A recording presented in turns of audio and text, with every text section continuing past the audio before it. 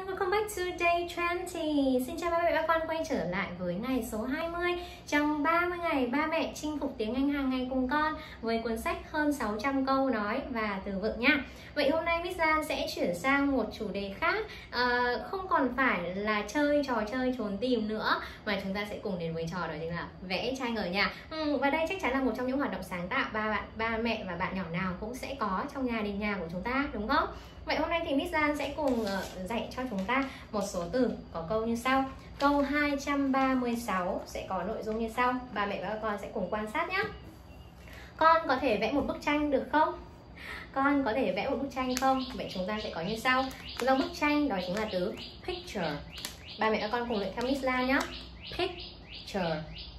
Picture. Picture. Next one. Draw. Draw ba mẹ các con nhớ bật cái chữ D ra và chúng ta đọc nhanh chữ R nhé draw. Draw. Draw. Và từ can you thì chúng ta luyện rất nhiều lần rồi, đúng không? Ba mẹ các con cùng luyện theo Miss ra nào. Can you? Can you draw? Can you draw a picture? Can you draw a picture? Can you draw a picture?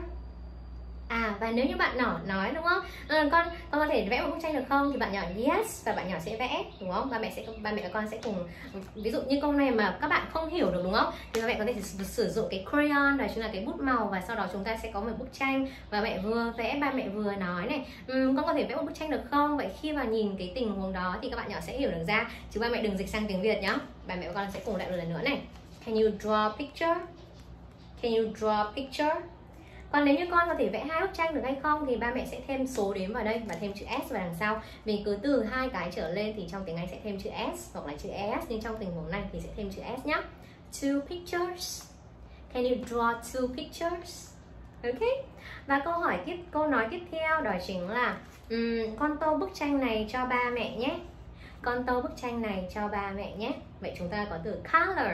Color thì là màu sắc và động từ thì sẽ có nghĩa là tô màu. Ba mẹ và con sẽ học được thêm một từ ngày hôm nay nữa, đó chính là từ color. Color. Chúng ta cùng luyện nào. Color. Color. This. This. Picture. Picture. For me. For me. Là cho ba hoặc là cho mẹ nhé. Color this picture for me. Color this. Color this. Color this picture for me color this picture for me Color this picture for me. Color this picture for me. Color this picture for me. Hôm nay là day 20 cho nên Miss Lan sẽ chỉ dạy chúng ta two sentence thôi, hai câu thôi để ba mẹ và các con có thời gian luyện lại tất cả từ day 1 to day 20 từ ngày 1 cho tới ngày 20.